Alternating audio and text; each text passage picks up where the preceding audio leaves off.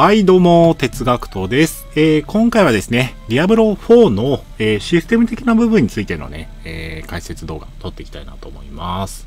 あのまあ、このゲームの特徴としてですね、まあ、あのちょっと MMO 的なね、え部分として、えまあ、自分がね、パーティーを、え組んでいるプレイヤー以外の、えキャラクターっていうのも、たまにね、えフィールドだったり、こういうワールドボスでね、一緒に戦うってことができるようになってるんですけども、まあ、あのー同じサーバーにいるはず、同じ場所にいるはずなのに、えーまあ、フレンドさんとなかなか出会えないとかね、えーまあ、そういう現象に、えーよく出くわすかなと思うんですけども、基本的にですね、まあ、あのディアブロイモータルでまあ確立された技術だとは思うんですけども、えまあ、ディアブロ4でもですね、えーまあ、チャンネルの違いというものが設定されていて、えーまあ、同じフィールドに、えーまあ、何人のプレイヤーがね、同時に存在できるのかっていう上限がまあ設定されてるみたいで、えこれね、多少上下するんで、何とも言えないところがあるんですけども、えー大体ですね、アシャバ戦で見たところ、えーまあ8人ぐらいが基準になっているのかなと思っていて、えーまあ4人パーティーで、えーまあ、え2パーティーぐらいが同時に存在できる。で、3パーティー目とかね、4パーティー目とか、えーを、えー組んで、えー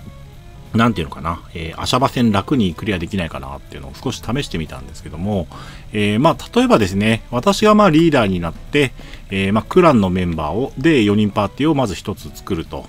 でですね、まあ、その後で、えー一旦私だけが抜けて、えー同じフィールドに、えー違う、えー違うメンバーと一緒にパーティーを作って招待をするみたいなことをやってみたんですけども、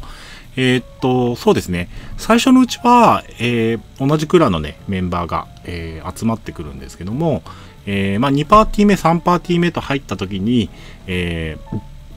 最初にね、抜けたパーティーのメンバーっていうのは、えーフィールド上から消えてしまう、えー別のチャンネルの方に移動しちゃうという現象が起きてましたので、まあその、一箇所にですね、クランのメンバーを大量に集めて、えーまあワールドボスを倒すとか、えまあ集団で狩りをするみたいなことはできないようになってるみたいですね。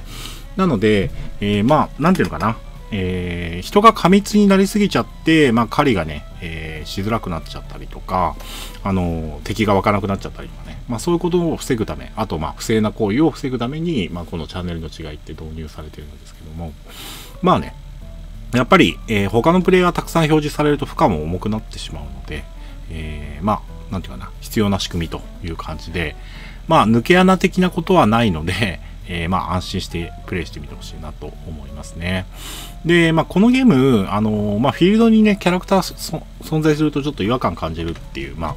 えーベテラン、白砂プレイヤーの方も多いみたいなんですけども、基本的に、えー狩りがか噛み合ってしまったとしても、えーまあ、自分用のドロップは自分用のドロップとして、えー確保されているような仕組みになりますので、まあ、結構イモータルとかだとね、えーまあ、報酬クエストの、えー敵が重なっちゃって、えー脇待ちみたいなことが起きてたんだけど、現在のところはそういうことは特に起きないし、あとですね、ダンジョンの中は、えーまあ、自分がね、パーティーを組んでるプレイヤー以外は表示されないような仕組みになってますので、えーま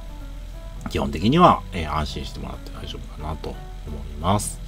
まあ、あのーなんていうかな、サーバーとしては一つだけど、えー同じフィールドの中に、えー存在できるプレイヤーの数には上限があるようですので、まあ、その点はね、えー踏まえて、えープレイの方を組み上げてみてほしいなと思います。はい、えー今回も、えー動画見てくださってありがとうございました。哲学とでした。えーうちのね、えーチャンネルでは、えー、ディアブロ4のね、えースタートに合わせて、えークランを作れるようにね、ディスコードサーバーの方も用意してますので、もしよろしければ、えー概要欄のリンクから、えーそちらの方もね、えー気軽に参加していただければなと思ってます。どうも今回も動画見てくださってありがとうございました。哲学とでした。